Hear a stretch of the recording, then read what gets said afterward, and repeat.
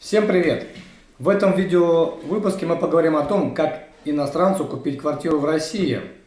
Есть ли неочевидные проблемы, с которыми придется столкнуться иностранцу, который решил купить квартиру в России? Я собрал вопросы, которыми часто задаются нерезиденты, планирующие приобрести недвижимость в Российской Федерации. На эти вопросы отвечу я, Красакин Евгений, юрист, эксперт по недвижимости компании ЦИОМ+. На данный момент в российском законодательстве не прописано никаких жестких ограничений для иностранцев, которые хотели бы приобрести недвижимость в России. Нужно иметь подтверждение права пребывания на территории страны. Это может быть даже туристическая виза. Выбрать понравившийся объект и провести стандартную сделку купли-продажи. Правда ли, что для покупки недвижимости в России нужен вид на жительство? Нет, это вовсе не обязательное условие.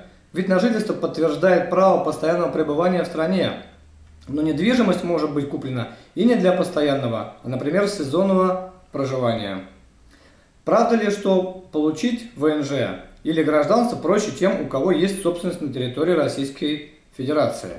Нет, это тоже неправда. Никаких преференций наличие квартиры, дачи, гаража или другой недвижимости не дает. Правда ли, что сделка иностранцу обойдется дороже, чем гражданину Российской Федерации?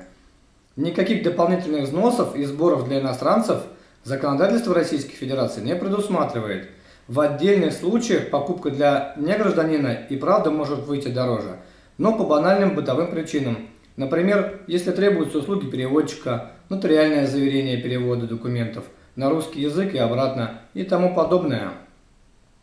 Правда ли, что для покупки недвижимости в России иностранцу придется отказаться от своего гражданства? Нет, это также неправда. Приобретение недвижимости и наличие гражданства в другой стране не приводит к конфликту интересов. Приобретение недвижимости в России гражданином другой страны – довольно понятный и отлаженный процесс – но нередко сложности возникают из-за языкового барьера. Если иностранный гражданин не говорит на русском языке, то он может привлечь переводчиков для подготовки документов. Некоторые иностранные граждане обращаются к нотариусу, который не только предоставляет переводчика, но также помогает составить двуязычный нотариально заверенный договор. Так покупателю проще разобраться с тем, что он подписывает и что приобретает в конечном счете. Если вам понравилось это видео, ставьте лайк, подписывайтесь на мой канал. До новых встреч, друзья!